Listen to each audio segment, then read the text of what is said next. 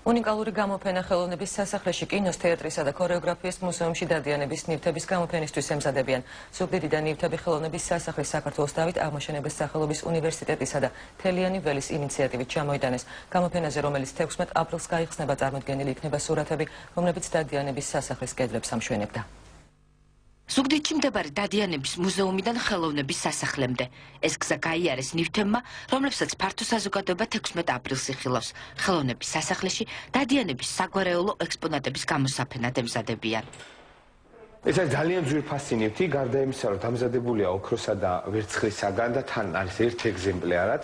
ყოველთავარი არის ის, რომ რუსეთის იმპერატორმა ალექსანდრე მე-3-მ თავისი კორონაციის დღეს ეს ალბომი გადასცა სასჩუქრად სამეგრელოს პრინც ნიკო დადიანს.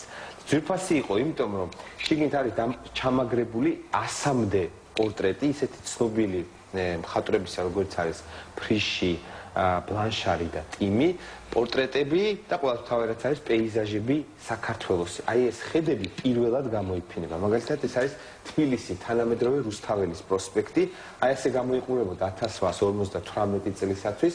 აქ ჯერ არც კი იდგა ცნობილი სობოროს ტაძარი, იყო კომენდანტური შენობა და ვორონცოვის სასახლე, რომელიც გამოიყურებოდა სულ სხვანაირად. ეს არის ეკატერინე ჭავჭავაძის სამუშაო მაგიდა ოქროსა და მინანქარში ამოვლებული ნივთებით გლობუსით რომელიც სოფლიოს სხვადასხვა ქვეყანაში მზის ამოსვლის დროს აჩვენებდა. საქახალდეთი ფურცლების ჩასადებით კალენდრითა თუ ზარით.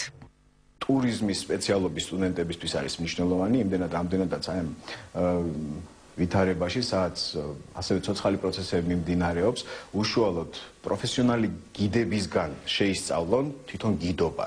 და მე ვფიქრობ ეს დასუსტვის კარგი შესაძლებლობაა, სწორედ ამიტოა რომ ჩვენ ამ პროექტს ხარს უჭერთ და ვართ აქტიური მონაწილე.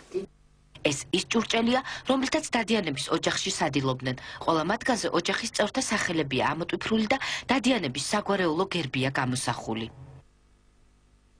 ეს საქანელა საკოცნელა ეკატერინე ჭავჭავაძეს ეკუთვნოდა. ამ ნივთს საკმაოდ საინტერესო ისტორია აქვს. 19 საუკუნის შუა პერიოდში არსებობდა თამაში, რომლის დროსაც ქალები და მამაკაცები ამ საქანელიდან თვალებდახუჭული ჭიქებს იღებდნენ და ისინი, ვისაც ერთი ფერის ჭიქა შეხვდებოდა, ერთმანეთს კოცნდნენ. ლეგენდის მიხედვით, ამ თამაშის დროს ეკატერინე ჭავჭავაძემ ნიკოლოზ ბარათაშვილს აკოცა და როგორც ამბობენ, შემდეგ ეს კოცნა მთელი ცხოვრების განმავლობაში არ დავიწყებია.